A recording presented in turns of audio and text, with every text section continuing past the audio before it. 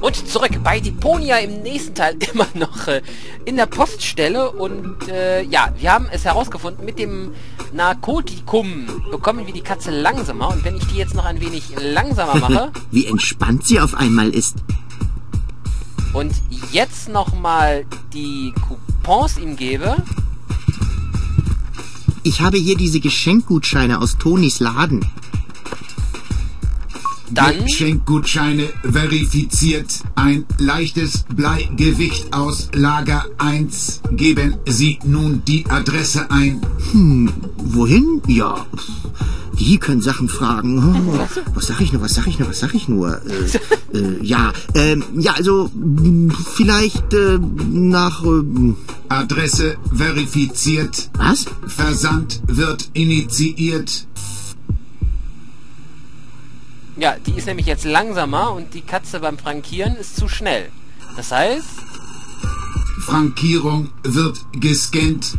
normalerweise... Ah!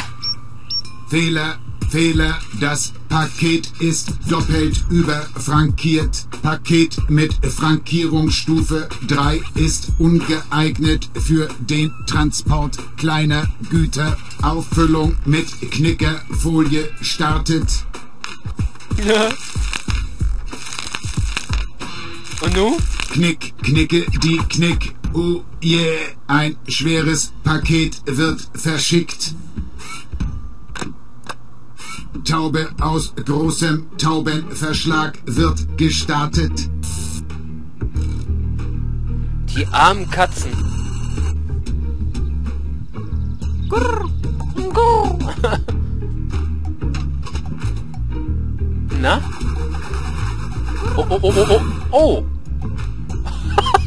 Was ist denn das? Polsterfolie. Knick,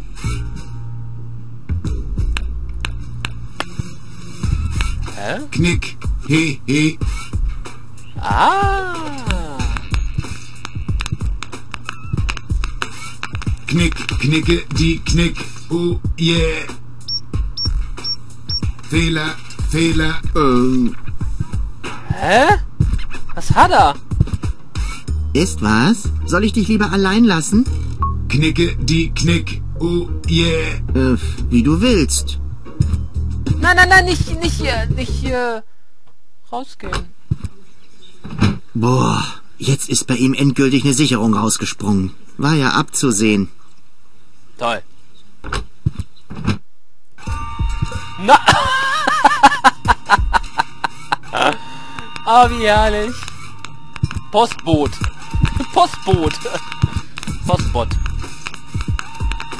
Was ist das bloß für eine Welt, in der man sich nicht mal mehr auf das Erdmagnetfeld verlassen kann? Warum ich so komisch rede? Weil sie neuerdings Sprachaufnahmen nach Worten berechnen, darum. Na. Aber das hat, äh, oh, Zettel. Zur Folge, dass wir jetzt hier rein können. Jemand hat Löcher in den Zettel gestanzt und sie dann nummeriert. Dem Postbot muss echt langweilig gewesen sein. Postbot. Ach, gucke an. 10L, was? Oh nein, was ist denn das jetzt für eine Ziffer hier? Eins, zwei, drei, vier. Hm, das war wohl falsch. Na. Toll. Das wird wohl der Tresorraum sein. Ach so, Ersatzkatzen. Ersatzkatze, ich Eine für sofort und eine für unterwegs. Oh, wie knuffig. Hm. Okay. Ja, aber jetzt hab ich Hey, aufhören! Nicht mit der Wünschelrute spielen! Jemand hat Löcher in den Zettel gestanzt und sie dann nummeriert. Dem Postbot muss echt langweilig gewesen sein. Moment, vielleicht kann ich die oben? Nee, glaube ich eigentlich nicht. Eins, drei, Das Erdmagnetfeld hat hierauf keinen Einfluss. Und Leute vom Schlafen abhalten konnte ich damit auch vorher schon. Ach. Eins, drei. äh, Hä? Eins, drei, zwei, drei. Moment, ist das vielleicht...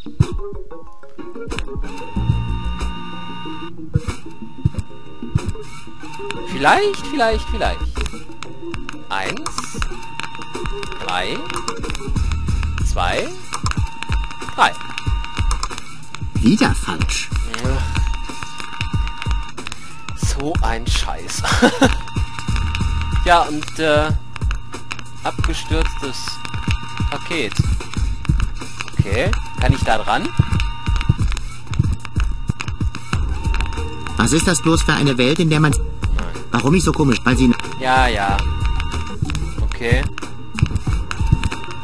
Tja, Freunde. Ach so, halt, Moment. Oben der Funkraum. Komme ich da hin? Da oben. Nee. Hä? Wieso Funkgerät? Wieso komme ich dann... Okay. Ja, also bringt das nichts. Da hinten waren wir schon drin. Was hat er denn hier für Wasseremblem, Klingel, Gegensprechanlage, Fernschreiber? Diese Technik ist voll für die Katz. Katz? Katze auf der Tastatur. Ich wette, Ihre Nachrichten sind gehaltvoller als alles, was Lotec jemals getippt hat. Der Telefonist wird mir dankbar sein. Na, okay. Oh, das hört sich aber süß an. Genau wie meine Beasley. So, und was macht jetzt der Telefonist?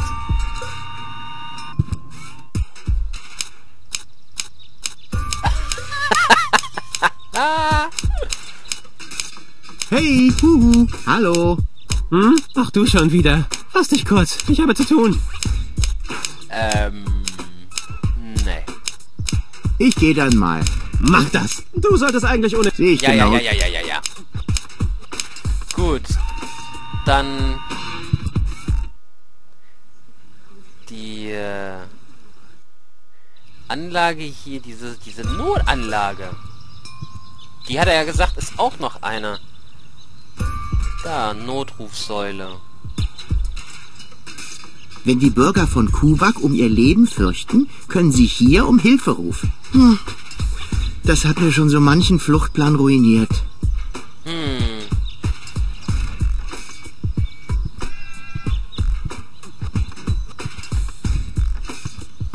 Ach komm, Rufus, ein bisschen schneller. Wenn die... Hm.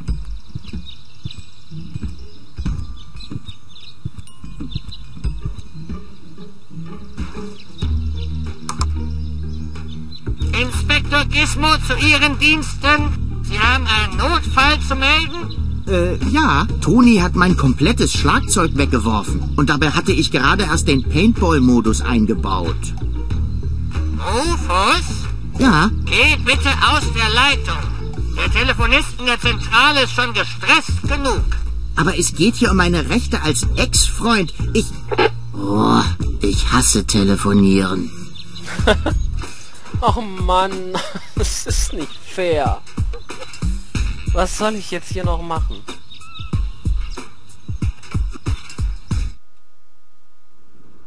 Was hat denn Hannek noch so in petto? Hallo nochmal. Ah, hallo Schnutzipu. Genau funktioniert der Springplan noch gleich. Ja. Bis bald. Tschö, Schnutzipu. Ach, den Namen kannst du dir merken. Sieht so aus. Ach. Ach ja, der Papagei ist ja auch noch. Ich habe Hunger. Du hast Hunger? Was habe ich denn für dich Feines? Ein Mietjekätzchen? Nee, das, sowas isst man nicht. Moment, was ist denn, wenn ich dem auch mal so ein bisschen Flüssiges gebe? Lachgas vielleicht, Espresso oder Narkotikum? Was ist denn mit Lachgas?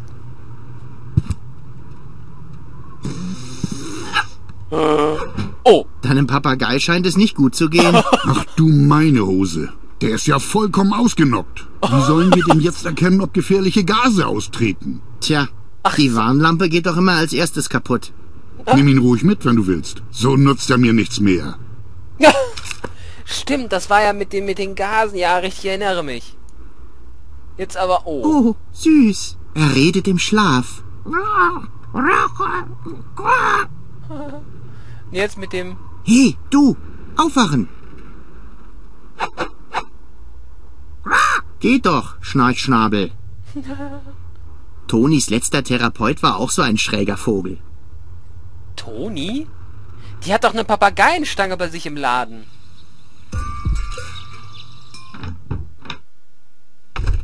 Da. Hier hing mal der Käfig von Tonis Wellensittich. Aber auch er hat es nicht lange mit ihr ausgehalten und ist ausgebüxt. Er ist an Altersschwäche gestorben. Ist doch egal. Nachdem du ihn versehentlich mit Drogerie infiziert hast. Also meine Version war lustiger. Ja. Was ist, wenn wir den Papagei jetzt da draufsetzen? Hey Toni, ich habe ein Geschenk für dich. Hallo.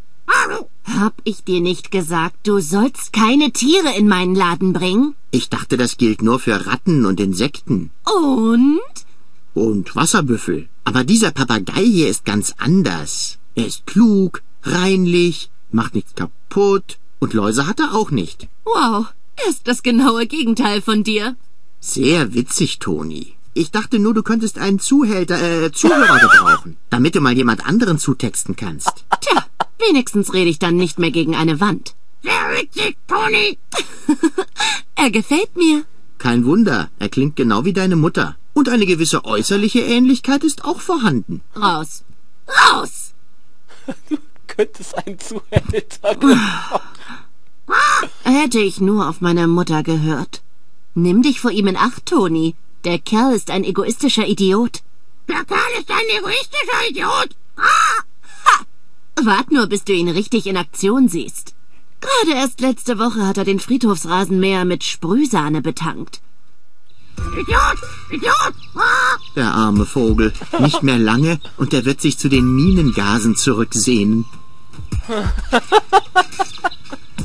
Ich komm nicht über den Zuhälter weg, ey.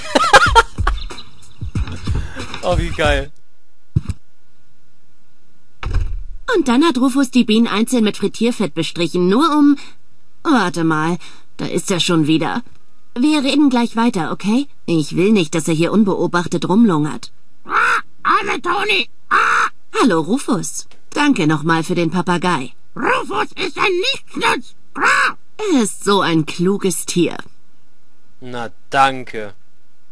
Oh, äh, Was tust du?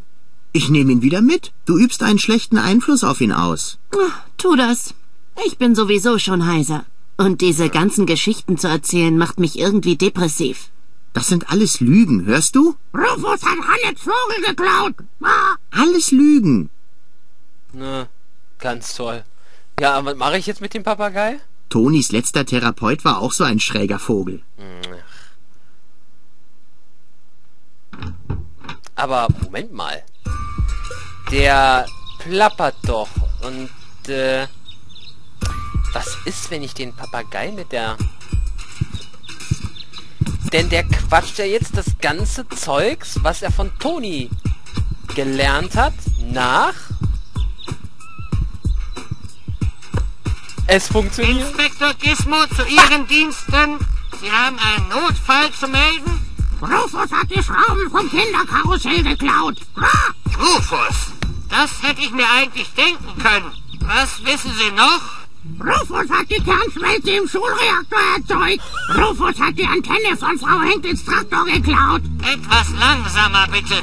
Ich komme gar nicht mit. Können Sie das nochmal wiederholen? Na, ob das so eine gute Idee war?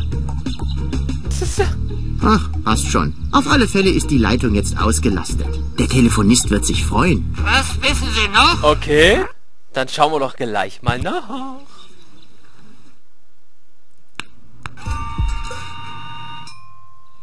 Rufus hat die Antenne von Frau Henkels Traktor geklaut. Rufus ist jetzt Holzresten im Getreidesilo. Ah, Rufus okay. hat die alte Maschine missbraucht. Naja, da hat sich jetzt nicht wirklich was geändert. Ja, und hier tut sich auch nichts. Ach, Käse. Und was ist mal Gizmo?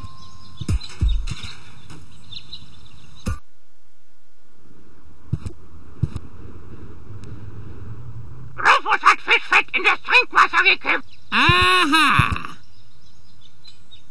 Äh. Ja, äh. Ich will ihn lieber nicht stören. Rufus hat die Erntemaschine missbraucht, um Schindeln vom Rathausdach zu stehlen. Ah! Ach ja. Ja, aber was hat das jetzt alles gebracht? Im Prinzip nix. Die Leitung ist oben überlastet.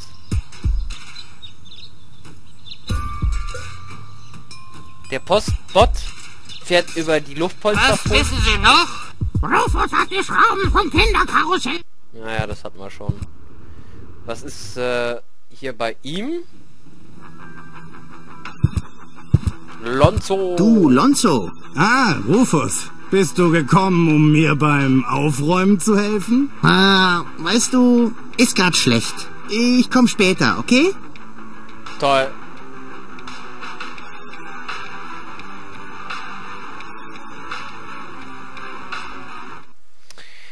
Äh, Hier ist also auch nix.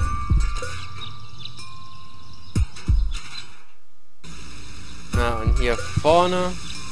Na, das... Der ist klar. Es spritzt und sprudelt immer noch. Ist Wenzel wieder zu Hause? Nein. Wo ist Wenzel? Na.